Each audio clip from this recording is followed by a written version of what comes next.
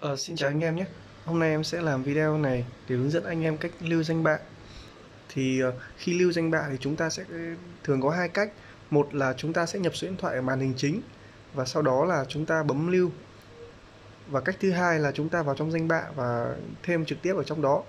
Còn một cách ờ, nữa là chúng ta vào lịch sử cuộc gọi là cách nói chung là cũng ít xảy ra là chúng ta vào lịch sử cuộc gọi rồi chúng ta bấm lưu thì em sẽ làm cả ba cách luôn đầu tiên thì nghĩ hai cách rồi bây giờ ừ, khi mà làm video thì lại nghĩ ra thành ba cách. Thì cách thứ nhất nhé là lưu ờ, danh bạ khi mà mình bấm số ở ngoài màn hình chính. Ví dụ là 093413 0013 này.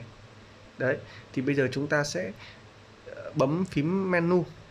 Menu là phím dưới nhé hàng uh, biểu tượng uh, hình uh, trang chủ 123 chúng ta không quan tâm. Đấy, bấm menu sau đó bấm dòng số 1 register to address book đăng ký vào danh bạ điện thoại. Sau đó chúng ta xuất hiện à, hai dòng thì chúng ta sẽ bấm vào dòng số 1 create new contact tức là tạo danh bạ mới.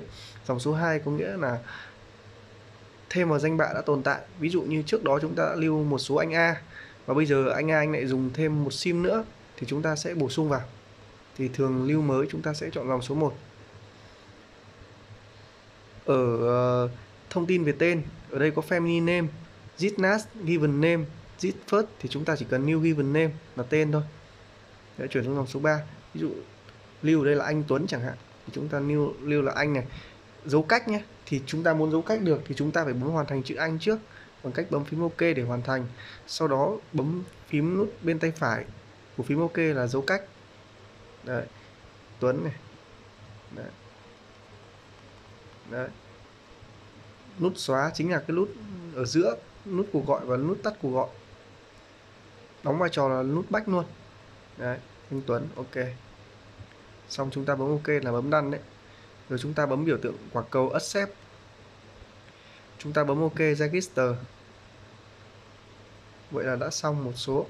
Bây giờ chúng ta vào phần danh bạ này. Vào menu, vào phone, vào dòng số 1 address book, thì chúng ta sẽ thấy anh Tuấn. Đấy, số vừa lưu đấy. Cách số 2 là chúng ta lưu trực tiếp ở trong phần danh bạ thì chúng ta sẽ bấm vào phím OK vào menu sau đó vào phần phone và address book vào phần add contact. Đấy add contact family name thì chúng ta nó là họ thôi không quan trọng thì chúng ta bấm next bỏ qua. Cái đây next bỏ qua nốt given name là cái tên thì chúng ta phải lưu. Ví dụ lưu là chị Minh chẳng hạn. Đấy. Đấy, khi mà chúng ta viết chữ nhé, khi mà hoàn, chưa hoàn thành chữ mà nó vẫn có dấu xanh này chúng ta phải bấm nút bên tay phải để nó hoàn thành chữ đi, thì chúng ta mới bấm được chữ y. Đấy. thường xảy ra đối với những cái phím mà nó cùng một, ví dụ như chữ g chữ h, chữ y thì chúng ta mới cần như vậy. Còn nếu mà những cái chữ ở số khác thì chúng ta sẽ không cần phải bấm nút cách, bấm nút ờ, bên tay phải này. Đấy. chị này hoàn thành chữ chị bằng cách bấm phím ok. Dấu cách sẽ là nút bên tay phải. Đấy chị Minh này. Đấy đấy chúng ta bấm thêm để ra chữ in hoa. Đấy dấu cách. À, không phải dấu chuyển này. Để chúng ta vì chữ y ngắn nó lại lên nó lại cùng với lại số 6 mà.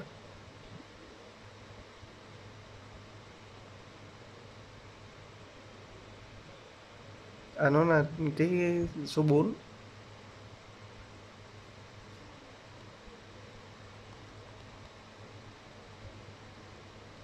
nhiều khi làm video nó chưa chuẩn bị trước, nó sẽ bị lẫn. Bởi vì là khi mà mình ờ, khi mà nó có cái chữ xanh này, nó chưa hoàn thành chữ thì chúng ta bấm cái chữ gì nó sẽ bị mất cái chữ đấy đi. Thì chúng ta phải bấm phím ok để nó hoàn thành chữ. Đấy. Rồi, bây giờ chúng ta bấm lách này. Lách tiếp này dòng ờ, phone number là số điện thoại thì chúng ta điền ví dụ như là 0522 689 789 lex rồi ở đây chúng ta sẽ chọn ờ, loại thì chúng ta cứ chọn mobile cố định đi. Ờ, ở uh, mail thì chúng ta bỏ qua next rồi chúng ta sẽ chọn dòng số 1 chúng ta chọn bấm phím ok. Rồi đấy đã lưu được chữ chị Minh. Tiếp theo nhé là cách cuối cùng cách phụ và ít xảy ra là trường hợp mà số lạ gọi đến. Chúng ta không biết là ai nhưng mà khi mà nghe điện thoại xong thì thấy người ta xưng là người quen của chúng ta thì chúng ta sẽ làm như sau. Ví dụ như cuộc gọi đến này incoming. Chúng ta muốn new thì chúng ta sẽ bấm menu. Chúng ta chọn dòng số 3 Đấy, thêm danh bạ dòng số 4 thì là blocklist là danh sách đen chặn cuộc gọi. Chúng ta phải thêm dòng số 3 đây cũng tương tự này. Chúng ta chọn uh, dòng số 1 là tạo số mới tạo danh bạ mới. Given name chúng ta sẽ để là ví dụ như anh Quang chẳng hạn. Đấy. hoàn thành chữ bấm phím OK để hoàn thành chữ dấu cách ở bên tay phải. Anh Quang. Đấy. ok. Done rồi accept. Rồi bấm ok register. Đấy là bạn đấy. Còn ví dụ chúng ta muốn thêm một cái số bổ sung nhé. Ví dụ như uh, không ờ, uh, 333 chẳng hạn. 333 333 đấy. Mà cái số này chị Minh chị cũng dùng. Mà chúng ta không muốn lưu một tên nữa nó phiền. Chúng ta sẽ bấm là menu, sau đó chọn register, cũng làm như lưu thôi. Nhưng mà ở bước này thì chúng ta sẽ chọn dòng số 2 add to exit contact, là thêm vào danh bạ đã tồn tại. Rồi chúng ta chọn là chị Minh, select. Rồi, bây giờ nó sẽ ra hai số này. Chúng ta chọn accept. Rồi, bấm ok là register. Rồi.